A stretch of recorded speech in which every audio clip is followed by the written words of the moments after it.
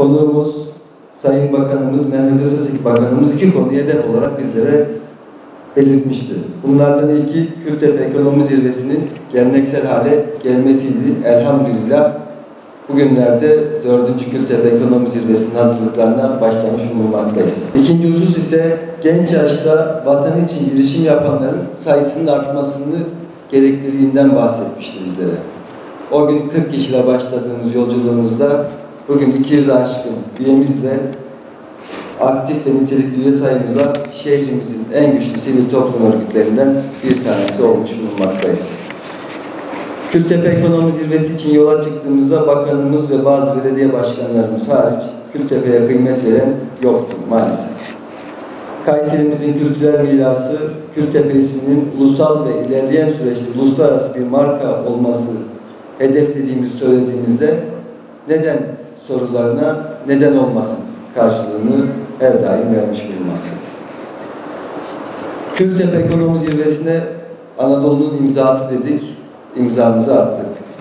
Kültepe herkes tarafından bilinen, değerlendirilmek istenen, hatta şehrin, katkın, şehrin tanıtımına katkı sağlayan bir marka haline gelmiş bulunmaktadır.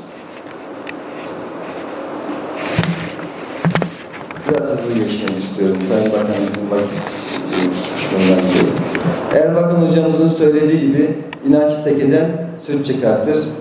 Bugüne kadar önümüze büyük hedefler koyduk. Başaracağımıza inandık. Hedefi küçük olanın baş, hedefi küçük olan başarının zaferi olmaz. Kayserimize hizmet etmek için çıktığımız bu yolda koyduğumuz hedeflere birer birer ulaşıyoruz. Aynı azim ve kararlılıkla yeni hedefler, yeni görevlerle ilimize hizmet etmeyi sürdürmekteyiz.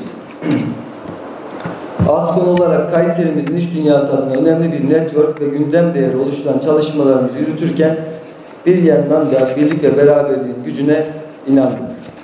Kayseri'de birlik sağlamanın yolunu gecenizle gündüzünüzle Kültepe Ekonomi Zirvesi'nde gördüğümüz gibi bir ruh ve çalışma azliyle sağlanabileceğini görüyoruz.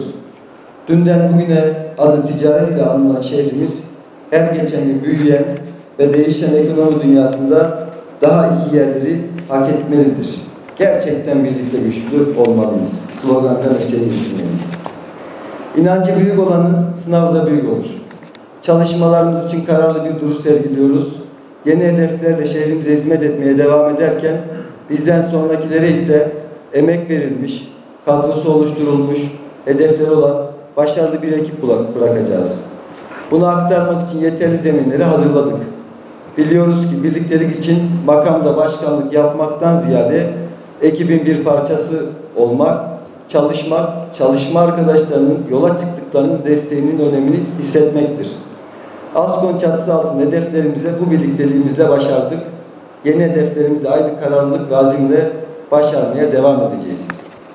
Bir kuruluşun gücü, ekibin gücüyle orantılıdır. İşini doğru yapan, yarını umutla güzel kılan, daha iyi bir Kayseri için yüreğini ortaya koyarak bugüne kadar hizmet etmiş arkadaşlarıma teşekkür ediyor. Görevine devam eden ve aramıza yeni katılan arkadaşlarımıza da yürüyeceğimiz bu yolun hayırlı olmasını temenni ediyorum.